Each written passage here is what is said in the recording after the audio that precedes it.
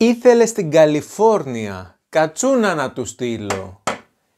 Έτσι έκαμα κι εγώ και απέκτησα ένα καινούριο φίλο. Έχω κι άλλη. Έστειλα στην Καλιφόρνια κατσούνα από την Κρήτη. Απούνε γερή να του σταθεί στην άλλη άκρη του πλανήτη. Δεν έχω μπιστολίδια αλλά έχω κατσουνίδια. Λοιπόν φίλοι μου, καθώς ετοιμάζω τα δέματα με μεγάλη μου χαρά θέλω να σας πω ότι ετοιμάζω μία κατσούνα να τη στείλω στο φίλο μου τον Κέντ στην Καλιφόρνια στο Σαν Ματέο. Φίλε μου Κέντ, σε ευχαριστούμε που ένιωσες ασφαλής και επικοινώνησες μαζί μας, που μπήκες στη διαδικασία και βρήκες τρόπους, αν και δεν μιλάς ελληνικά, να επικοινωνήσεις μαζί μας. Ρώτησες, έμαθες, μας είπες, έψαξες και βρήκε τρόπους επικοινωνίας και κάναμε το καλύτερο δυνατόν για να φτάσει αυτή η κατσούνα στα χέρια σου.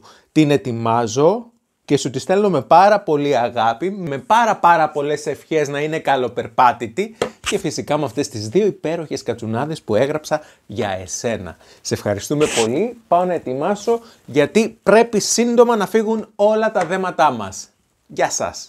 Α, και μην ξεχάσετε να κάνετε την εγγραφή σας στο κανάλι μας στο YouTube πρέπει οπωσδήποτε να κάνετε την εγγραφή. Είναι ζωτική σημασία για εμάς και φυσικά ένας τρόπος για εσάς να βλέπετε όλα αυτά τα ωραία βιντεάκια που ετοιμάζουμε και να προλαβαίνετε αυτές τις υπέροχες κατσούνες που φτιάχνει ο κατσουνοποιός μας, ο Γιάννης Σουσμπυρνάκης.